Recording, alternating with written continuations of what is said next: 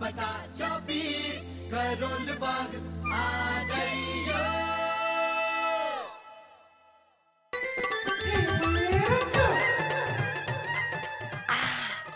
कमाल का घर है ये तो। सब कुछ एक ही छत के नीचे है। मखमली बिस्तर, ठंडा पंखा, विदेशी अमृत। आय हाय हाय हाय हाय। रज्जो रानी, तारी तो लाइफ सेट हो गई। आय हाय हाय। रज्जो रज्जो रज्जो, रज अरे रज्जो रज्जो तन्ने शर्म कोनी हाँ? आते ही कारनामे पे कारनामे दिखाने शुरू कर दिए तूने। मैंने तो तभी समझ में आ गया था कि वो तूने तूने ही उठाया होगा। उठाया होगा? क्यों उठाया होगा? देख देख, झूठ तो मुझसे बोल मती अच्छा वो सोने का सिक्का। हाँ सोने का सिक्का सोने का सिक्का सोने का सिक्का। अरे बुई तू ही तो हमेशा कहती रहती है ना कि मारा दहेज कहाँ से जुटेगा? तो बस यही समझ ले कि मैं अपना दहेज जुटा रही थी। कोई चोरी ना कर रही थी मैं। हाँ। बावली अरे बावली ऐसे ही दहेज जुटाती फिरी ना तो। चार दिन में यहाँ से ये लोग हमें चलता कर देंगे, समझी तो? शादी की बात तो दूर है, लड़के का मुँह भी ना देख पाएगी समझी तू?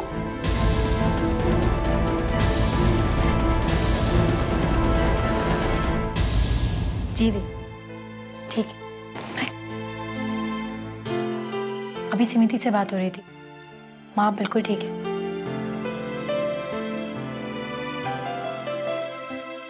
मेरा उनसे मिलने का बहुत मन कर रहा है। हाँ हाँ तो इसमें सोचने की क्या बात है? अभी चल चलते नहीं मेहमान। मेरा मतलब ऐसे अच्छा नहीं लगता ना।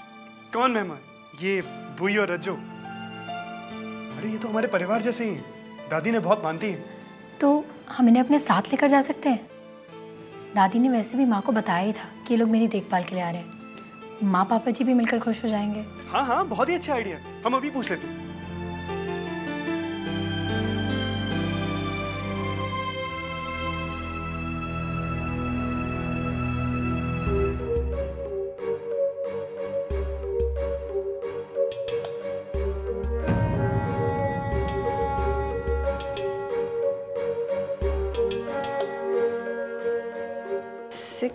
रखूँ या ना रखूँ?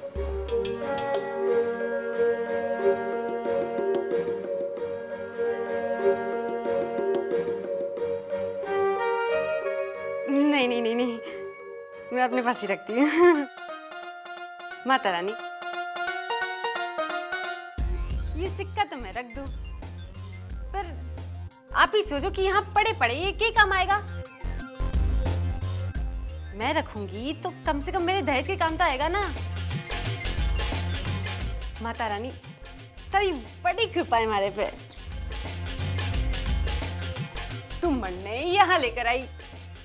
ठंडे ठंडे पंखे की आदत डलवा रही है। अब तू ही सोच ले, यो आदत पड़ गई ना मरने। तुम्हारे इसके बगैर ना चले। हाँ।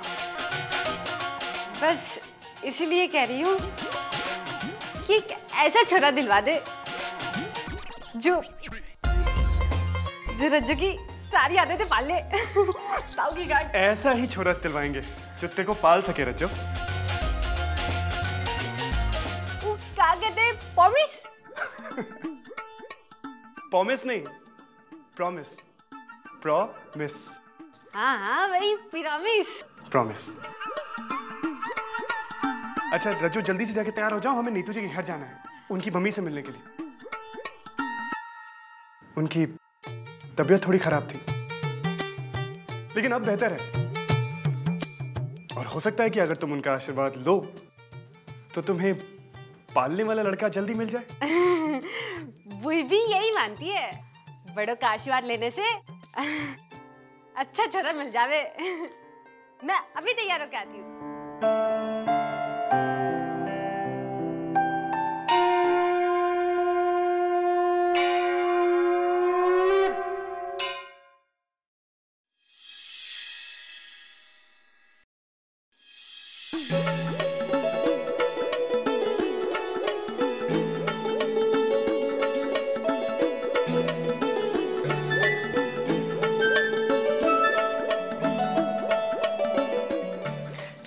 जैसे बैठना है बैठ जाओ। ये तुम्हारा ही घर है।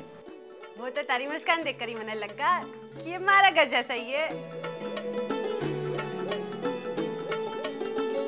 वैसे आप बड़ी सुंदर हो। थैंक यू पानी पियो। लेकिन मन ने तो कुछ खाया नहीं।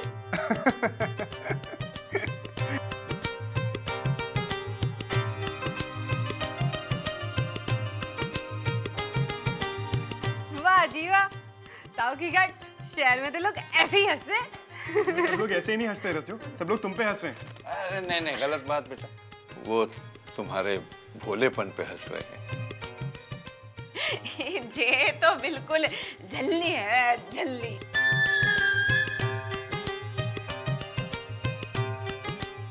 हमारे घर में नीतू को भी सब झल्ली बुलाते हैं।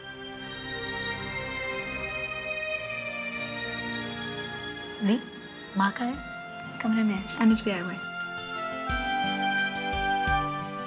मैं नाश्ता ले आती मैं आपके साथ चलती हूँ।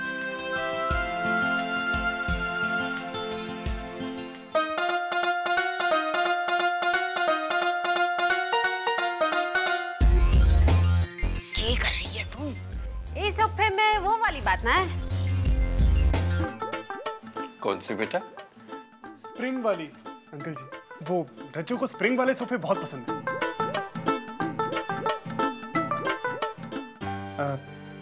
अंकल जी आंटी जी की तबीयत कैसी है?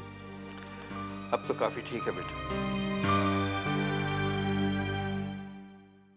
माँ, अनीता ने मुझे रुकने को कहा और मैं रुक गया। क्या हो जाता है मुझे? देख अनुज अब तो यूँ ही कहता रहेगा ना तो मैं ठीक नहीं होती। मैं बहुत शर्मिंदा हूँ।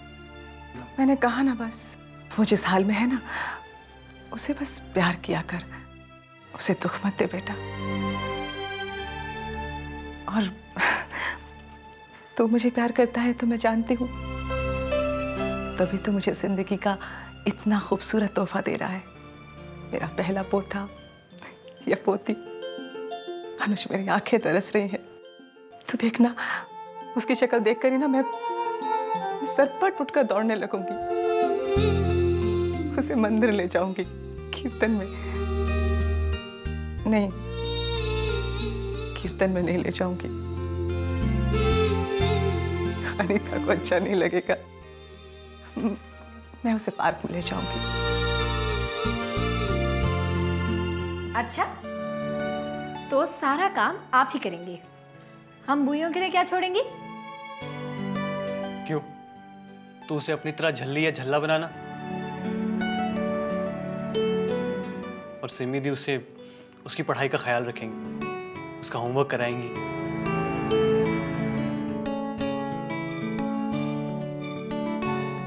माँ, मैंने सुना है, औरत माँ बनने के बाद बदल जाती है। शांत हो जाती है। मैं बस यही चाहता हूँ कि अनीता भी शांत हो जाए। बेटा, फ़िक्र मत कर। तू देखना, बच्चा ज़िंदगी को खुशियों का बगीचा बना देता है।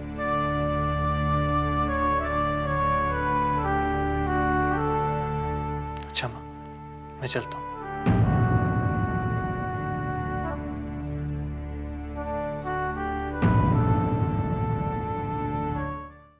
लेकिन आपको एक प्रॉमिस करना पड़ेगा। आपको कुछ भी चाहिए होगा ना, मुझे फ़ोन कर देना। अच्छा ठीक है।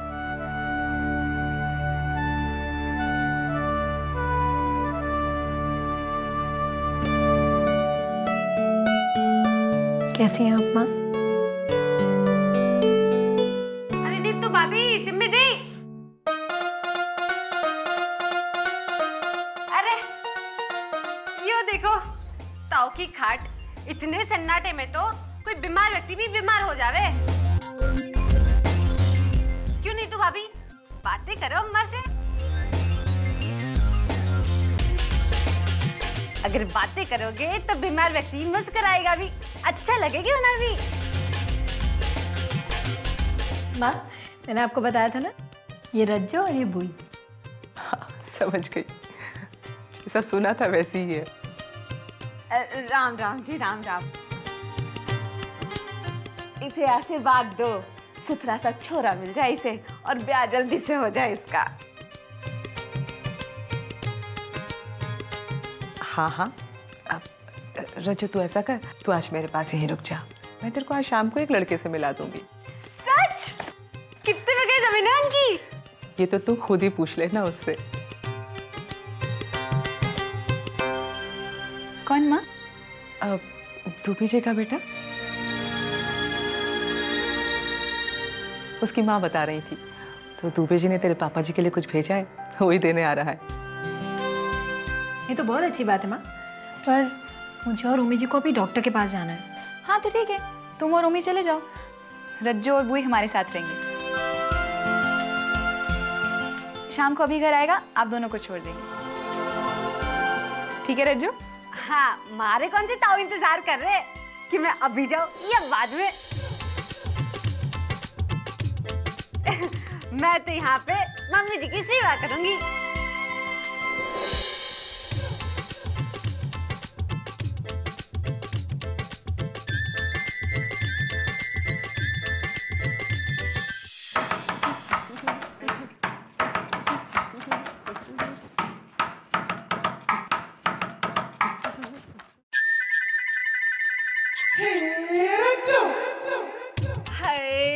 तारे घर की खाने की खुशबू सुनकर तो रात चलता भी कीचा चला है। ये बढ़िया बढ़िया खाने की खुशबू तो चुंबक जैसी लागे तू बैठ, मैं सब्ज़ी ले आती अरे आप रुको मैं खोलती हूँ।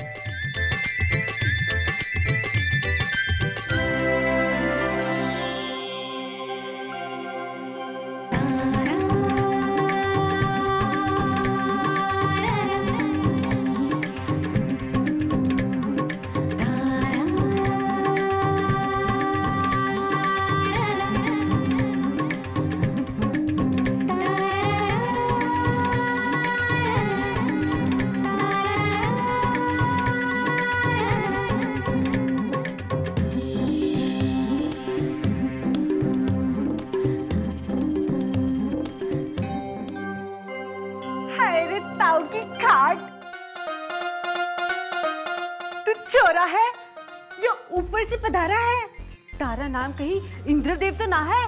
क्या? हमारा मतलब है कि कौन हो तुम? वो सिमिदी है ना? सिमिदी की बहन नीतू। नीतू हमारी भाभी लागे क्योंकि उनका पति ओमी हमारा भाई जैसे लागे। अब तू पूछेगा कि ओमी हमारा भाई कैसे तो बात ऐसी है कि रिश्ता तो मानने से होवे ना। अरे ताऊ की खट रिश्ते से याद आया? तू तो दुबे जी का छोरा है ना? हाय हाय, सच्ची, जितना सोचा था उससे एक कदम आगे निकला तू। और नहीं तो क्या, सब गाँव में कहते थे कि दिल्ली के छोरे ऐसे लागे, वैसे लागे। लेकिन आग लगा देते हैं। ये किसी ने नहीं बोला हमारे से? सिमी? सिमी? अरे अंदर आजा यहीं से बावला से चिल्लाएगा। अंदर आजा सिमी she?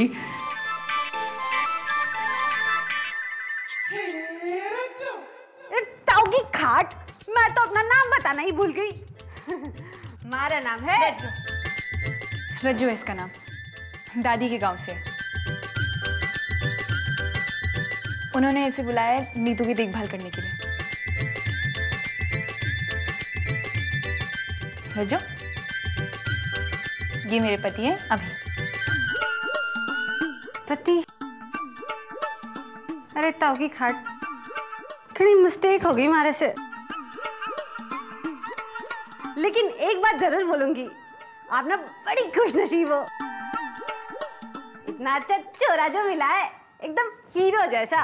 आय हाय हाय। रज्जो आई वही मैं आती हूँ। सुना तुमने? हीरो बुलाया हाँ। हो गया। बहुत हीरोगिरी दिखा दी। चलो। अरे क्या? चुपचाप बैठो खाना खाओ। एक मिनट। हाँ डॉक्टर मेहता हाँ बस पहुँचता हूँ। डॉक्टर मेहता का फ़ोन था।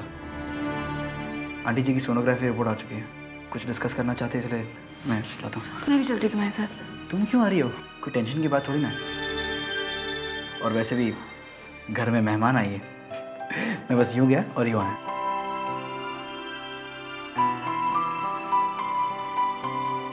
रज्जो बुई आगे खाना खा लीजिए।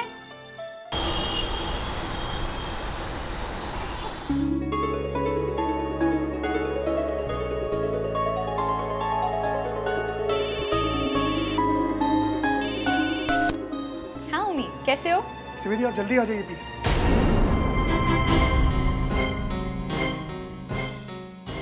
वो नीतू जी हॉस्पिटल में है। तुझी की डिलीवरी होने वाली है।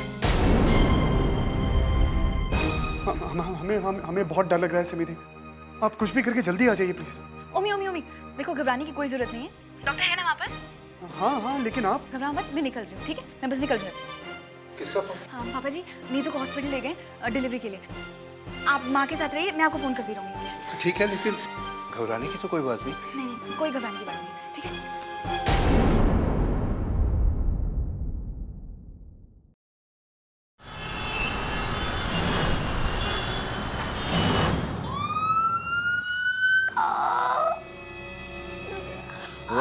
मुझे लगता है हमें सिजेरियन करना पड़ेगा।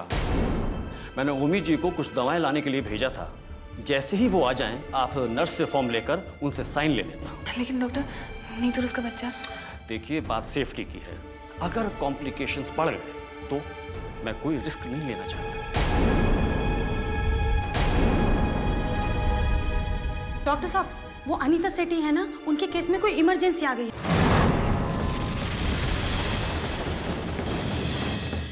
प्लीज़ जल्दी चलिए।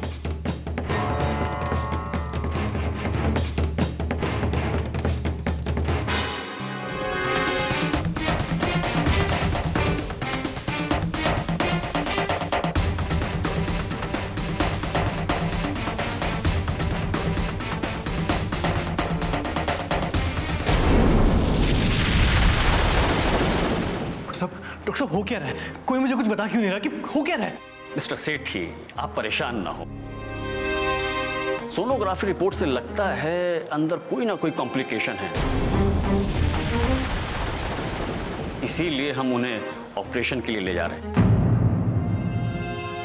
प्लीज़ आप दवाएँ जल्दी मंगा लें। लेकिन हुआ क्या है? मिस्टर सेठी आप घबराएँ नहीं। ऑपरेशन से सब ठीक हो जाएगा। आप भगवान पे भरोसा रखें दवाइयाँ जल्दी मंगा लें। मैं लेके आता हूँ।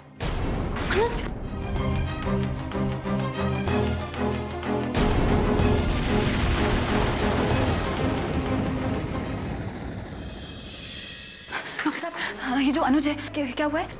आप उन्हें जानती जी मैं उनकी बड़ी बहन हूँ। अनीता का केस का क्या हुआ है?